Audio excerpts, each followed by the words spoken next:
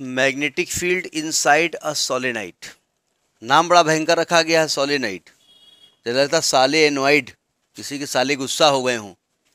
एनवाइड अलग कर दो इससे संध विच्छेद हिंदी में किया जाए तो क्या निकलेगा? साले धन एनवाइड हैं? पापा के साले गुस्सा हो गए। ठीक है, वो ना वो ना नहीं है। देखिए सोलेनाइड होता क्या है?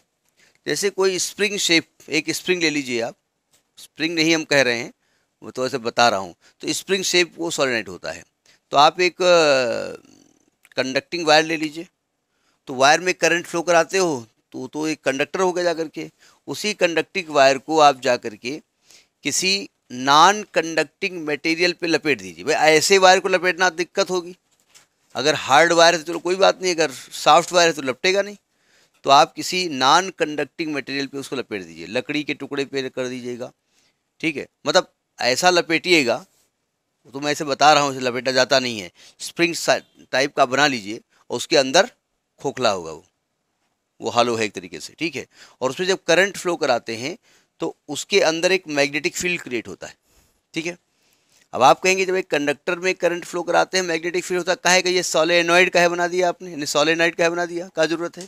हमें कभी कभी ज़रूरत पड़ती है मैग्नेटिक फ़ील्ड एक यूनिफॉर्म मैग्नेटिक फ़ील्ड ठीक है? तो इसका इस्तेमाल हम मेडिकल पर्पज़ में बहुत करते हैं। जब मैग्नेटोथेरेपी वाले बॉडी की आपको करनी है, जैसे एमआरआई वगैरह होता है सी स्कैन वगैरह एमआरआई वगैरह होता है सी स्कैन तो शायद एक्सरे होता है, ठीक है? सुबंद करो। एमआरआई जब होता है तो एमआरआई में क्या होता है कि इस मैग्नेटिक फ़ील्ड के अंदर आपको डाला जाता है, ठीक है? अगर आपने कभी देखा हो मशीन वो तो एक बड़ा सा ऐसे वो बना होता है, चम, ऐसे दरवाज़ा टाइप का ऐसे, और उसके अंदर बेड चला जाता है पूरा, ठीक है? तो वो एक्चुअली में सोलिनाइड होता है, उसके अंदर करंट फ्लो होती रहती है और एक मैग्नेटिक फ़ील्ड आपको चारों तरफ़ से क्रिएट होता रहता है, ठीक है? वो एक थेरेपी है, लेकिन जब ऊपर वाला अपनी थेरेपी करता है तो सब थेरेपी बोले, बहुत हो गया सोलेनवाइड और ये मैग्नेटिक फ़ील्ड और इलेक्ट्रिक फ़ील्ड इलेक्ट्रोमैग्नेटिक वेव सब ठीक आ जाओ आ जाओ बेटा यहाँ पर। हम तुमको वेव दे रहे हैं। तो देखिए सोलेनाइड बनाए कैसे हम? तो अभी बनाइएगा नहीं। ये सोलेनाइड ऐसे बना हुआ है है ना? और इसमें करंट फ्लो हो रही है। इसमें हमने करंट ऐसे फ्लो कराई तो करंट ऐसे फ्लो हो रही है ना, ऐसे। अब प्रॉब्लम यहाँ पर आ रही है कि चूँकि जब थ्री डायग्राम बनाओगे ना तो इसमें एक मिनट, ऐसे नीचे आई है, ऐसे ऐसे दिखा दिया हमने, ठीक है।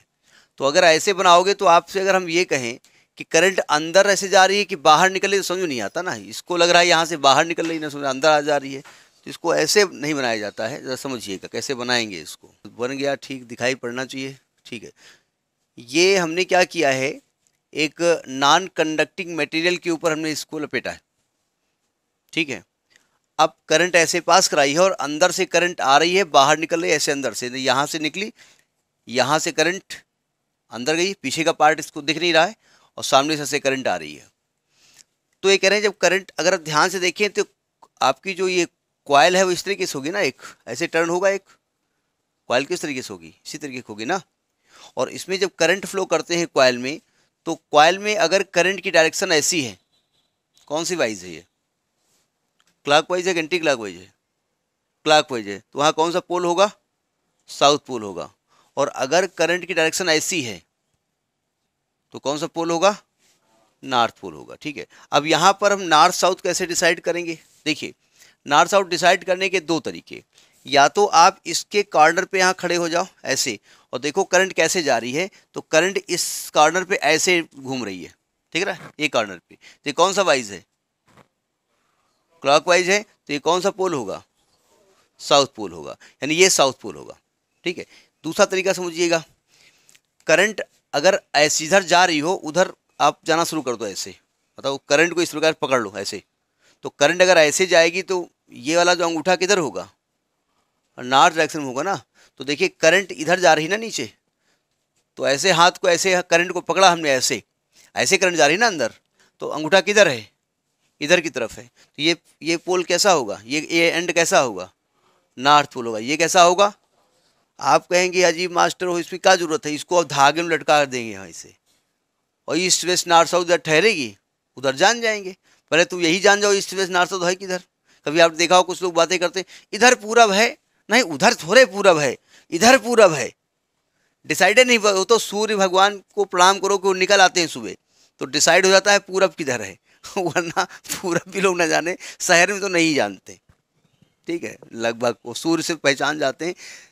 ईस्ट वेस्ट नॉर्थ साउथ कैसे डिसाइड होता है? हैं? हाँ इधर उधर कैसे कर देते इधर उधर इधर उधर क्या होता? है सूर्य देखो ना, सूर्य की तरफ़ बताओ। हाँ सूर्य जब खड़े हो गए तो उधर क्या होगा? नहीं, सूर्य की तरफ़ खड़े, मान लिया हम सूर्य हैं, खड़े हो अब। तो अब हम किस डायरेक्शन में, तुम्हारे हिसाब से हैं? ईस्ट में। वेस्ट किधर होगा? हाँ और साउथ नॉर्थ कैसे डिसाइड करेंगे?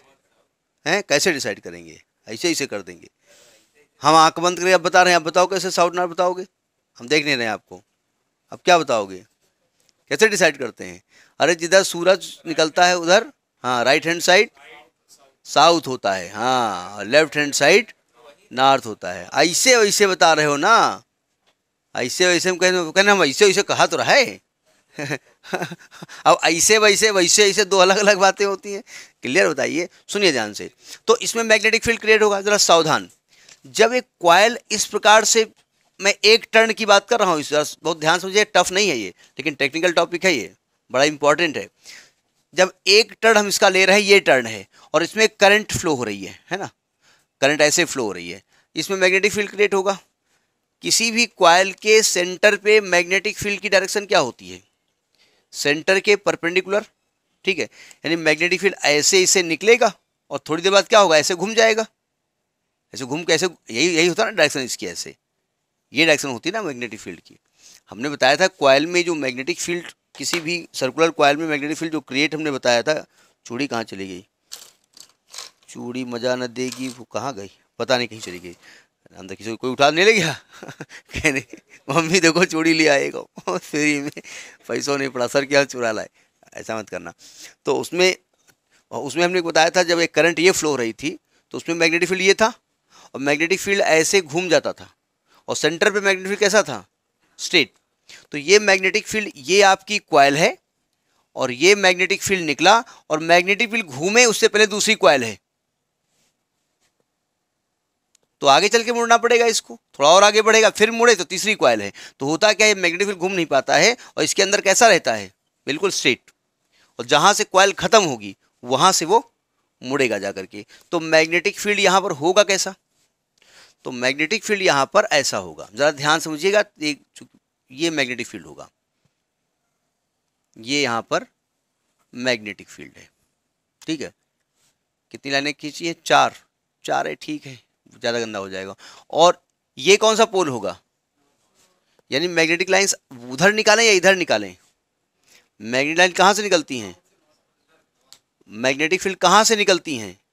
जब मैग्नेटिक फ़ील्ड की बात होती भाई साहब तो मैग्नेट के अंदर की बात नहीं होती है।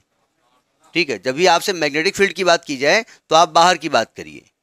ठीक है आप कहें साउथ से नॉर्थ आज बात बता दो मैग्नेट के अंदर। पूरी बात तो सुनी नहीं। तो ये मैग्नेटिक लाइंस निकली यहाँ से, और ये निकल करके एक कर बना लेती हैं ऐसे, है ना? ये मैग्नेटिक लाइंस ऐसे होती हैं। अभी हम डायग्राम चेंज करेंगे, अभी जो समझाने के लिए डायग्राम बनाया जा रहा है। अगर अच्छा लगेगा तो इसी में काम चला देंगे। ये मैग्नेटिक लाइन्स इसमें निकल रही हैं, ठीक है? मैग्नेटिक लाइंस नाक से निकलती हैं। मतलब नार से निकलती हैं। अब ये सोलेनाइड आपका बना हुआ है। ठीक तो लग रहा है डायग्राम? अरे वाह तो हमको अच्छा लग रहा है तो अच्छा ही है। तो ये पोल नॉर्थ दिखाने की ज़रूरत तो है नहीं। जब एरो यहाँ निकल रहा है मतलब ये ये वाला एंड क्या होगा? नॉर्थ।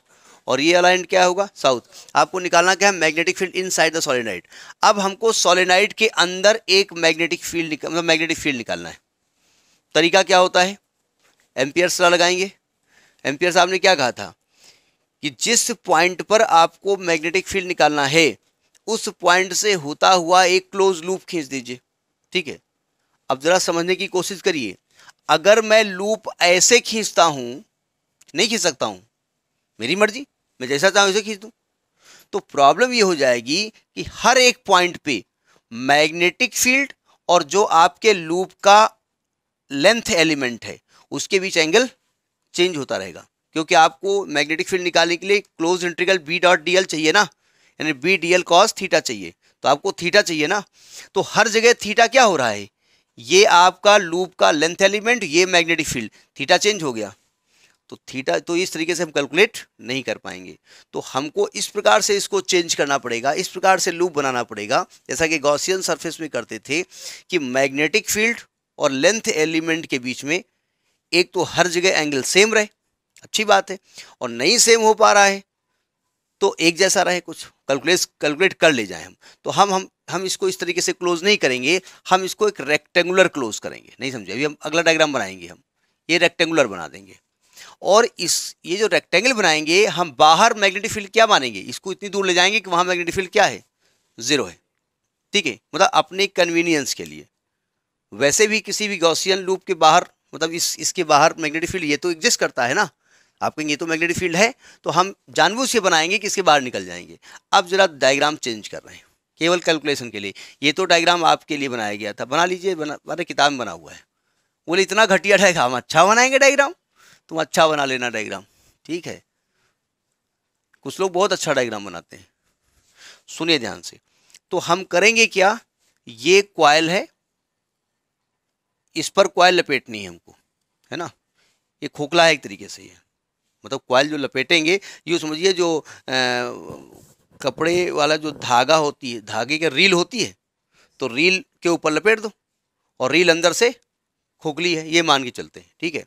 अब देखो हम इसमें ऐसे क्वाइल लपेट रहे हैं और ये हम करंट दिखा रहे हैं। ये हम करंट दिखा रहे हैं। हमने बताया था करंट ऐसे दिखा सकते हैं आप। तो करंट इधर से अंदर गई है और इधर से बाहर निकल रही है। कर सकते ना ऐसे?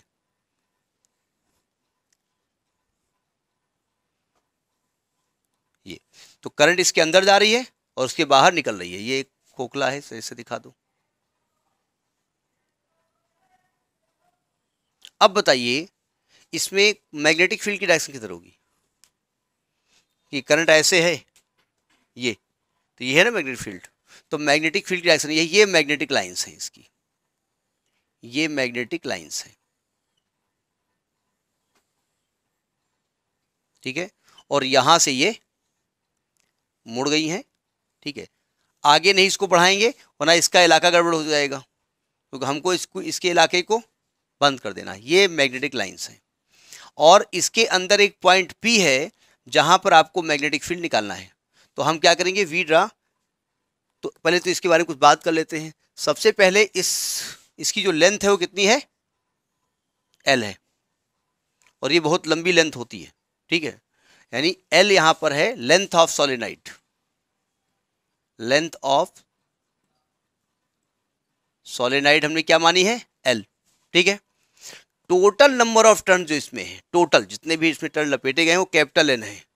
Total number of turns total number of turns ये बहुत इंपॉर्टेंट प्रूफ है, ध्यान रखिएगा।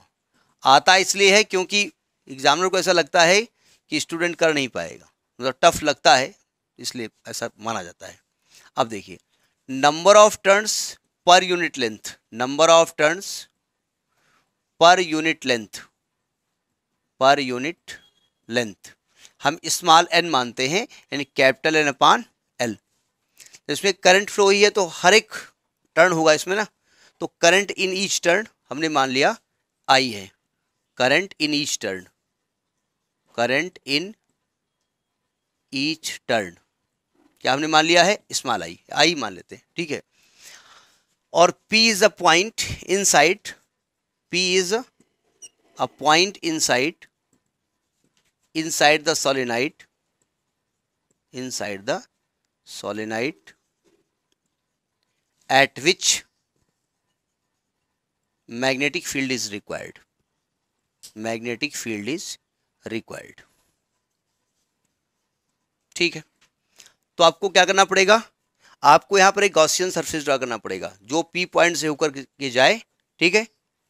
तो हमने गॉसियन सरफेस जानबूझ के कैसा ड्रा करें? सर्कुलर खींच, अभी हम खींच रहे थे ना तो गड़बड़ हो रहा था। तो हम एक रेक्टेंगुलर एक हम जो है यहाँ पर, इस प्रकार से हम एक गॉसियन सरफेस ड्रा करते हैं। ठीक है? ये हमने गॉसियन सरफेस ड्रॉ कर लिया। इसका नाम दे दीजिए ए बी सी डी ठीक है? इस प्रकार से। और आप जिधर डायरेक्शन में चलना चाहें चलिए। आपकी मर्ज़ी। आप चाहे इधर से इधर चलना शुरू करो, चाहे इधर से इधर चलना शुरू करो। ठीक है? हम ये डायरेक्शन अपनी लूप की ले लेते हैं। और जो इसका सी डी पार्ट लिया है, वो इतनी बाहर लिया है कि वहाँ मैग्नेटिक फ़ील्ड ज़ीरो है। यहाँ तक पहुँच गए आप। अब यहाँ तक पहले आप नोट कर लीजिए, फिर बात करें। तो मैंने यहाँ पर एक गौसियन सरफेस ड्रा कर दिया, और इस सरफेस इसकी जो लेंथ हमने मानी है, वो कितनी मानी है ये? फ़िलहाल एक्स मानी है, ठीक है? अब मैं गॉस थ्योरम लगाने जा रहा हूँ। क्या गॉसियन कहाँ से? एक तो गॉस इतना रटे हुए हैं कि एम्पीरियन सर्किट ठीक है? तो by ampere circuit law. By ampere's circuit law. बस बहुत हो गया। बस। सर्किट लॉ क्या उन्होंने कहा था? Closed integral B dot D L is equal to mu naught times of net current enclosed by the into net current net current enclosed by A B C D और Amperian loop लिखें फ़ीस पे लिखें, फिर writing गड़बड़ हो जाएगी। ए B C D ठीक है ठीक है? अब देखो ध्यान से। अब क्लोज इंट्रिकल कैसे करें? इंट्रिकल तो यहाँ से लेकर के यहाँ तक होना है ना? ए से लेकर के बी बी से सी सी से डी ए लौट के आना है। तो क्या हर जगह बी और डी एल भी एंगल सेम है? नहीं सेम है। तो हम क्या करेंगे? इस इंट्रिकल को अलग अलग पार्ट में ब्रेक कर देंगे।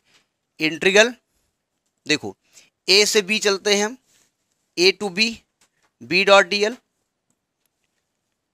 plus integral B to C B dot D L plus integral C to D B dot D L plus integral D D to A close ना लगाइएगा।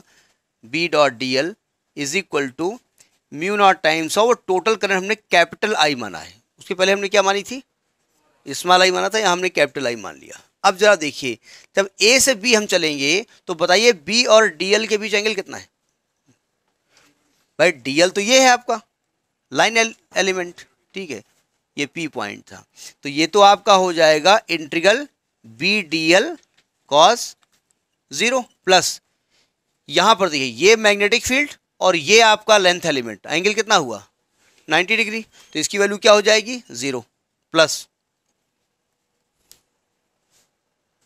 देखिए अच्छा यहाँ पे आइए, यहाँ जो सी टू डी जाएँगे तो सी टू डी में मैग्नेटिक फ़ील्ड कितना है? ज़ीरो हम मान के चल रहे हैं वहाँ मैग्नेटिक फ़ील्ड है ही नहीं।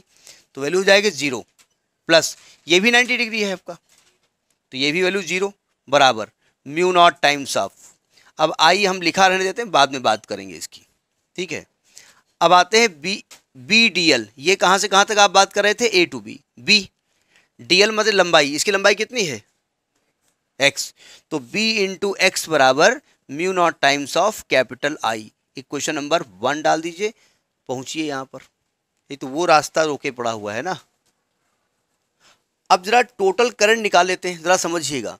आई कैसे निकाला जाए? सुनिए ध्यान से। आई कैसे निकाला जाए?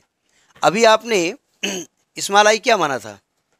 Number of sorry current in each turn तो यानी कि इस वाली लेंथ में जितने क्वाइल के टर्न है, उतनी आई है। उतने टाइम्स आई है, ठीक है? अच्छा यूनिट लेंथ में कितने टर्न है? ये खटपट मत करिए भाई। यूनिट लेंथ में कितने टर्न है? स्मॉल एन तो एक्स लेंथ में कितने टर्न है?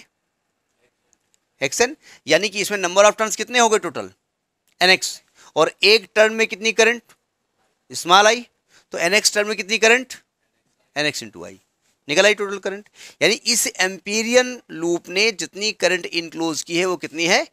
एन एक्स इंटू वाई तो इसकी वैल्यू यहाँ रख दिया जाए। Putting this value in equation one putting this value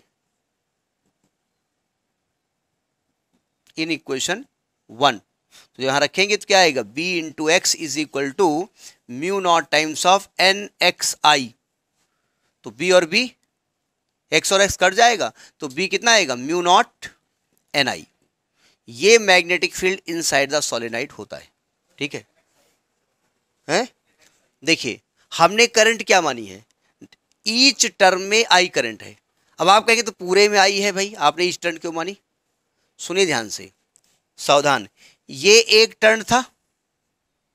एक टर्न में करंट फ्लो ही एक मिनट तो उसने अपना मैग्नेटिक फ़ील्ड बनाया।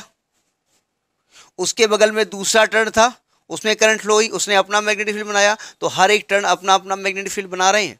तो इसका मतलब ज़्यादा नंबर ऑफ़ टर्न होंगे तो ज़्यादा करंट बनेगी, ज़्यादा मैग्नेटिक फ़ील्ड बनेगा, ठीक है? तो जितने टर्न होंगे, उतने ही टाइम मैग्नेटिक उस करंट हम मान लेते हैं। करंट तो पूरी क्वाइल में सेम फ्लो होती है।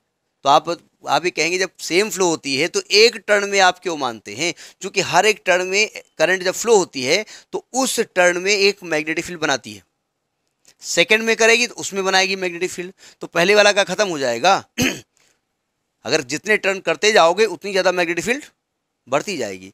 तो यानी मैग्नेटिक फ़ील्ड किस वजह से बढ़ रही है? हर एक टर्न में करंट की वजह से। तो हमने एक टर्न में कितनी करंट मानी है? आई मानी है। अब देखो, और यूनिट लेंथ में कितने नंबर ऑफ़ टर्न्स थे? एन, यूनिट लेंथ में। और जो एक्स लेंथ है तो कितने हो जाएँगे? N X, number of turn. अगर एक लेंथ में नंबर ऑफ़ टर्न्स एन है तो एक्स लेंथ में कितने होंगे? N X. एक लेंथ में करंट, एक टर्न में करंट आई है तो एन एक्स टर्न में कितनी होगी? तो टोटल करंट आपकी एन आई होगी समझ में आई बात नहीं आई? एक मिनट और। ये आपका, इसके अंदर कहीं भी आप होंगे मैग्नेटिक फ़ील्ड यही होगा म्यू नॉट एन आई और एन क्या है? Number of turns per unit length तो इसका फॉर्मेट ऐसे भी आप कर सकते हो, देखिए ध्यान से। यानी इसको हम चाहें तो हम ये भी ले सकते हैं mu naught total number of turns divided by length तो ये भी ले सकते हैं इन टू आई ठीक है, ये भी लिखा जा सकता है। एक नोटिंग है जिसके प्रूफ का तरीका दूसरा उसको आपसे मतलब नहीं है। देखिए, इसके अंदर किसी भी पॉइंट पर आप मैग्नेटिक फ़ील्ड निकालो, कितना होता है? सेम होता है। लेकिन जब इसके बिल्कुल कॉर्डर पे आप पहुँच जाओगे तो यहाँ मैग्नेटिक फ़ील्ड आधा होता है। तो ये याद कर लीजिएगा। इसका तरीका वैसे जो आपकी डेफिनेट लेंथ वाला पढ़ाया था हमने, जिसमें थीटा वन थीटा टू था, वहीं से इसका तरीका यूज़ होगा, लेकिन डायरेक्ट यूज़ कर लीजिएगा। Magnetic field at the end of end मतलब बिल्कुल कॉर्नर पे, जहाँ से फ़ील्ड लाइन निकल रही है। End of solenoid half of mu naught N I ये याद कर लीजिएगा। I is the current in each turn N is the number of turns per unit length एकांक लंबाई में टर्न की संख्या है, ध्यान रखिएगा। न्यूमेरिकल में दिक्कत करता है देखिए magnetic field due to toroid लिखा गया है। इन साइड विन साइड नहीं लिखा गया है। टोराइड होता क्या है? हमने अभी एक स्प्रिंग बताई आपको। बीच में खोखली थी स्प्रिंग। वो लपेटने के लिए हमने आपसे कहा कि वो उसमें लपेटो, इसमें लपेटो, लेकिन वो खोखली ऐसे स्प्रिंग।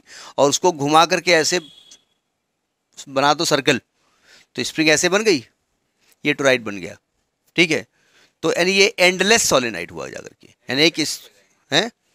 एंड कनेक्ट हो जाएँगे, बैटरीज हो जाएँगे तो एंडलेस हो जाएगी ना? भाई जैसे यहाँ बैटरी लगाओगे, जब दो एंड आएँगे, उनको बैटरी जोड़ देंगे तो मान लो एंड कनेक्ट हो गए। तो एंडलेस सोलिनाइट कहा जाता है उसको, ठीक है? तो हम टोराइड बनाते कैसे हैं? एक हॉलो पाइप लेते हैं, उस हॉलो पाइप के ऊपर एक क्वाइल लपेटते हैं और क्वाइल में करंट फ्लो होना शुरू हो जाती है। तो लेते हैं हॉलो पाइप ये एक हॉलो पाइप मतलब होता है पाइप बनाते तो हिल हिल करके बनाएँगे।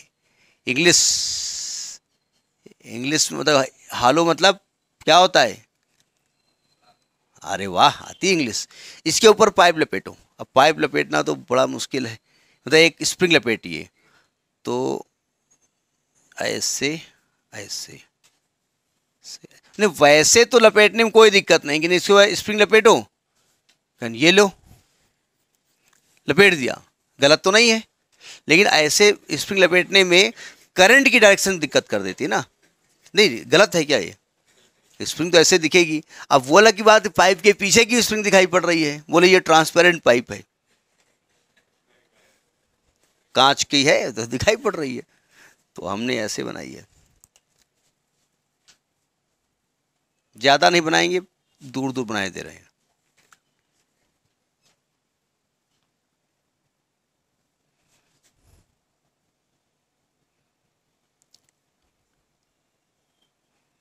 हम ये सब बनाना सीखे स्टूडेंट से। कोई स्टूडेंट बना लेता तो हमने कहा, कैसे बनाते हो इसको? डांट के कहा और हमने सीख लिया। वो समझा कि ये हमसे बता रहे हैं, बनाओ। ये तार ऐसे। चलिए, ये करंट हम ऐसे फ़िलहाल इसमें एंट्री कराते हैं। देखो करंट इसमें जा कैसे रही है? ये ऐसे जा करके और इसमें ऐसे बाहर निकलेगी ऐसे जाएगी करंट या ऐसे करंट हमने दिखा दी तो यहाँ तक बात समझ में तो आ गई होगी ज़रा इस इस पाइप के दोनों एंड को देखिए यहाँ से करंट किधर जा रही है अंदर जा रही है यहाँ से करंट बाहर निकल रही है तो यहाँ से करंट अंदर जा रही है यहाँ से करंट अंदर जा रही है यहाँ से करंट अंदर जा रही है यहाँ से अंदर जा रही है यहाँ से अंदर जा रही है ठीक है यहाँ से अंदर जा रही है और यहाँ से नहीं जाएगी यहाँ से भी जा रही है यहाँ से अंदर जा रही है यहाँ से अंदर जा रही है और यहाँ से बाहर निकल रही है। ऐसे भी दिख रही है? ये आप दिखा सकते हो। ठीक है डायग्राम जितना क्लियर आप बना सकते हैं। इतना क्लियर ना बनाओ तो दिखाई नहीं पड़े कि डायग्राम है नहीं बहुत क्लियर है। ट्रांसपेरेंट डायग्राम अब सावधान। हमको इस टोराइडल की वजह से मैग्नेटिक फ़ील्ड निकालना है। ये नहीं बताएगा कहाँ निकालना है। तो हम टोराइडल के अंदर भी निकालेंगे। बिल्कुल यहाँ पर। बाहर निकालेंगे और इसके अंदर एक्सेस पे निकालेंगे इसके। तीन जगह पे निकालेंगे। ठीक है? तो पहले निकालेंगे इनसाइड। इनसाइड को क्या माना जाए? तीन केस में। इनसाइड ही ठीक है, inside to right. Open space, interior. Inside, in open space. In open space. उसका कारण है ना कि भाई इनसाइड तो ये भी हो जाएगा ना, ये वाला पार्ट भी। तो ओपन स्पेस में। अब यहाँ पर हमने एक पॉइंट ले लिया और यहाँ पर आपको मैग्नेटिक फ़ील्ड निकालना है। ठीक? अब ज़रा समझिएगा, क्या तरीका होता है आपका? एक एम्पीरियन लूप पी को कवर करता हुआ। तो हमने पी को कवर करता हुआ एक एम्पीरियन लूप बना दिया। ठीक है? यानी हम एट पॉइंट पी निकालने जा रहे हैं। किस पॉइंट पे निकालने जा रहे हैं? एट पॉइंट पी निकालने जा रहे हैं। हमने इसको कवर करता हुआ एक एम्पीरियन लूप बनाया। क्या वह सब बता सकते हैं इस लूप के अंदर से कोई करंट निकल रही है? नहीं निकल रही ना। और एम्पियर ला क्या कहता है कि अगर किसी लूप से कोई करंट निकल नहीं रही है तो मैग्नेटिक फ़ील्ड क्या होगा उसमें? ज़ीरो तो आप लिखेंगे as there is no current as there is no current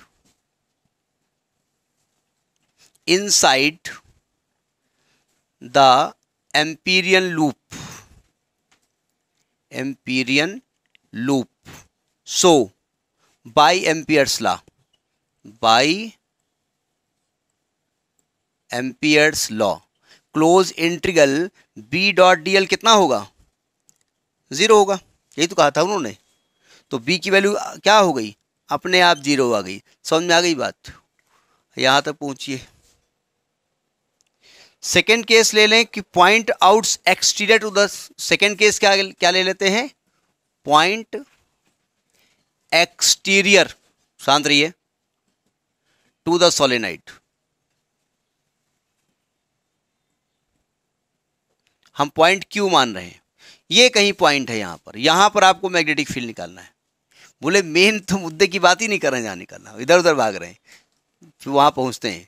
देखिए तो हमने क्या कहा कि इसको लेते हुए एक एम्पीरियन लूप बना लीजिए। बना लिया एम्पीरियन लूप ठीक है? We draw an amperian loop covering this point या पासिंग थ्रू पॉइंट क्यू अब बताइए, इसके अंदर करंट है कि नहीं है? कितनी है? ठीक है, अब जरा ध्यान से समझिएगा। Net current net current in this amperian loop पहले ये निकाल लेते हैं। एम्पीरियन लूप स्पेलिंग देख लीजिएगा, वो कोई दिक्कत वाली बात, थोड़ी बहुत अंग्रेज़ी चलती है। सुनिए ध्यान से। ज़रा हर एक टर्न को ध्यान से देखिए, एक मिनट। यहाँ पर करंट किधर जा रही है? अंदर जा रही ना, और यहाँ पर करंट और अगर सेम करंट जा रही ना तो हर एक टर्न में आई करंट अंदर आई करंट बाहर नेट करंट नेट करंट कितनी हो जाएगी? ज़ीरो हो जाएगी ना। अब आप कहेंगे, ये तो ठीक है, लेकिन मज़ा नहीं आ रही है करंट ज़ीरो नेट करंट क्या मानी जाएगी? प्रैक्टिकली बताइए आप ना। भाई, अगर आई करंट अंदर जा रही है, और उतनी ही करंट बाहर निकल रही है तो नेट करंट क्या मानी जाती है? ज़ीरो मानी जाती है ना तो यहाँ पर नेट करंट ज़ीरो हो जाएगी। नेट करंट ज़ीरो है।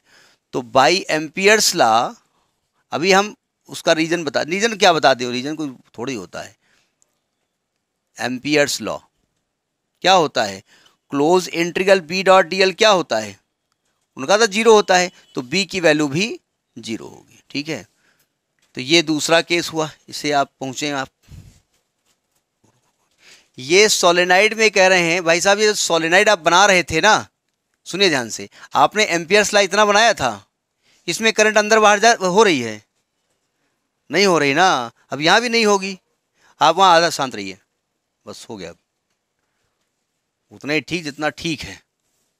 अब सुना समझिएगा। अब तीसरा हम पॉइंट लेंगे inside the solenoid inside the toroid इसके पहले टोराइड लिखा था ना हमने?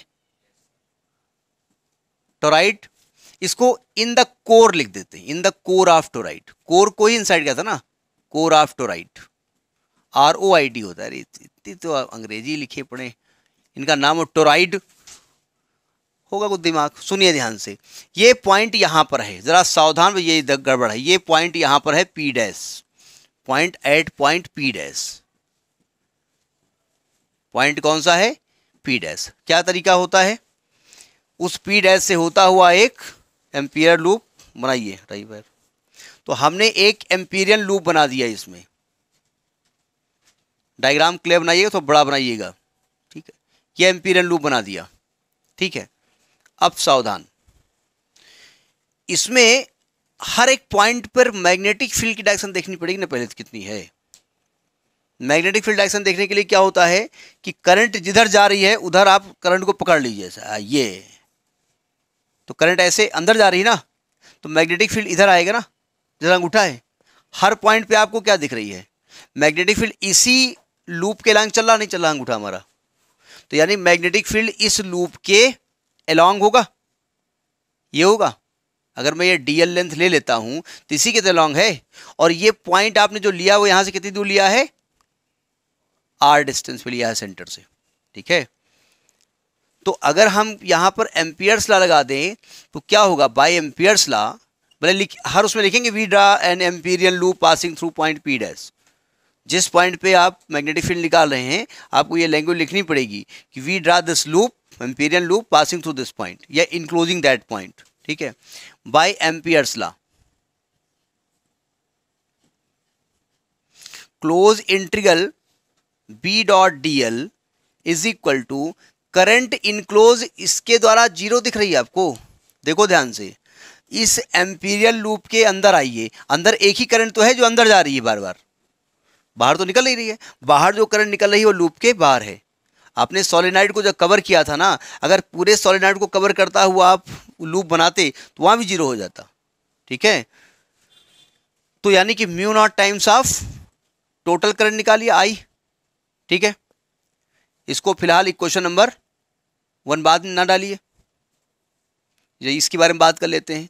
तो इसको जब ओपन करेंगे तो B D L cos zero होगा।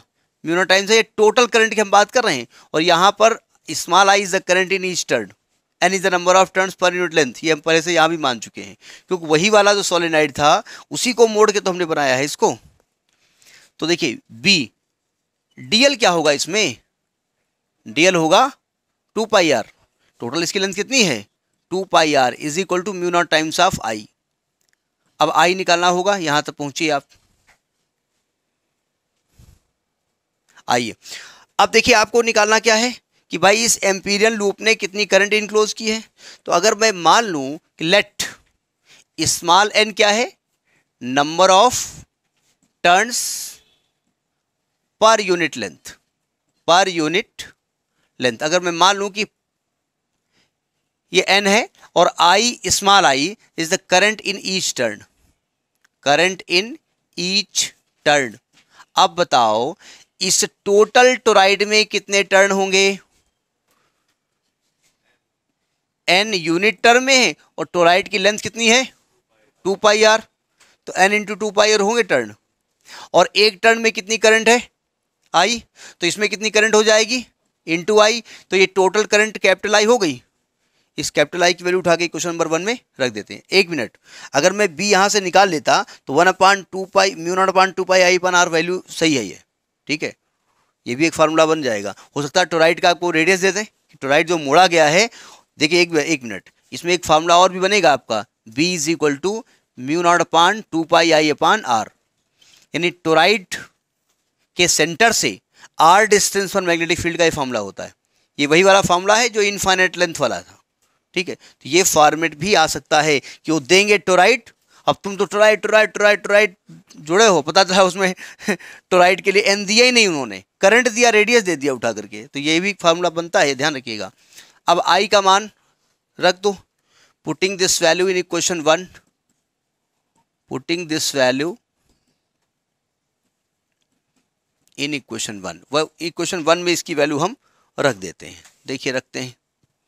तो क्या आएगी value B into two pi R is equal to mu naught times of N into two pi R तो इंटू आई तो टू पाई आर कट जाएगा बी बराबर म्यू नॉट एन आई अभी आप सोलेनाइड के अंदर मैग्नेटिक फ़ील्ड कितना निकाल रहे थे? तो उसी सोलेनाइड को तो आपने घुमा दिया ऐसे। तो मैग्नेटिक फ़ील्ड भी ऐसे घूम गया। तो वैल्यू थोड़ी बदल जाएगी उसकी। है तो सोलेनाइड ही हो। तो जो सोलेनाइड के सेंटर पे होता है, अब ये ना कहना इसके एंड पे क्या होता है, ये एंडलेस होता है, इसका एंड नहीं होता, ठीक है? इसका यूज़ ज़्यादातर हम कहाँ करते हैं? मैंने बताया था जो सी टी स्कैन वो क्या एम होता है एमआरआई होता है। एमआरआई में हम एक सर्कुलर ऐसे लगा देते हैं, ठीक है? और उसमें मैग्नेटिक फ़ील्ड लगा देते हैं। उसके अंदर बॉडी को रख करके किया जाता है, जो भी होता है, भगवान जाने। ओके